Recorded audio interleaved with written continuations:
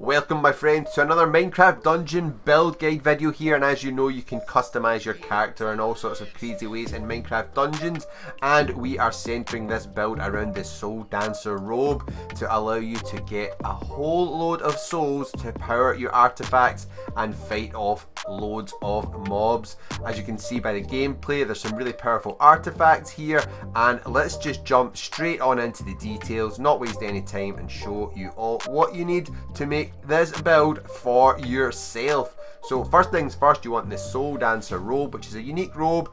This armor is awesome and it gives you plus 305 health, 30% chance to negate hits, which is nice, but the main thing here is that it allows you to gather souls super quickly. So plus 100% souls gathered, so you're basically doubling the speed which you gather souls from enemies and plus 50% artifact damage. So the awesome artifacts, which we're going to talk about in a second, such as the Corrupted Beacon, it will give it a 50% damage boost which is incredible. And you can see here we've also got an enchantment which also helps us out.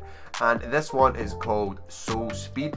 And basically this armor enchantment provides a small speed boost when you gain souls from mobs. So that's pretty cool. We're using the souls here to our maximum ability in this build.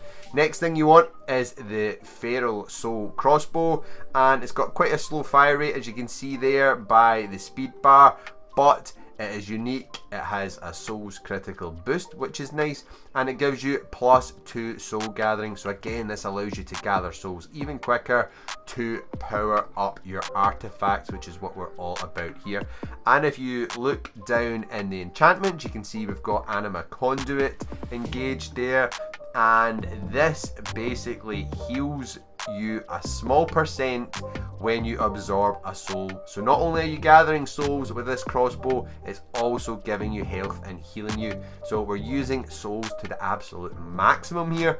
Next up, you want the Torment Quiver. And why do you want that? Well, you may have noticed in the gameplay, basically this is an insanely powerful arrow which fires back mobs and it is super powerful because of all the energy it releases which pushes back waves of mobs it gathers plus one soul and it also requires souls to power it so pretty good because it will keep powering itself and it only has a one second cooldown so you can use this very, very quickly. And the last piece here that is really worth mentioning, I mean, I know we do have up in the top here, we've got the soul knife, which isn't really worth talking about. The only thing that's really good here again about this is it also has plus two soul, soul gathering, sorry, which allows you to power up your artifacts again.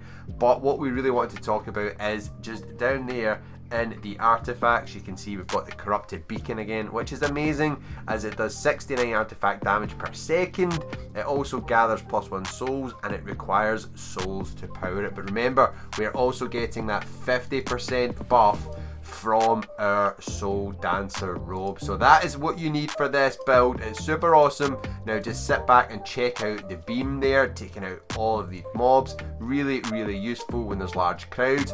And then when we go on to the next clip, you can see how effective this crossbow is at pushing mobs back. You can see like the blue like tailwind off it. It's super awesome. Hopefully you enjoyed this.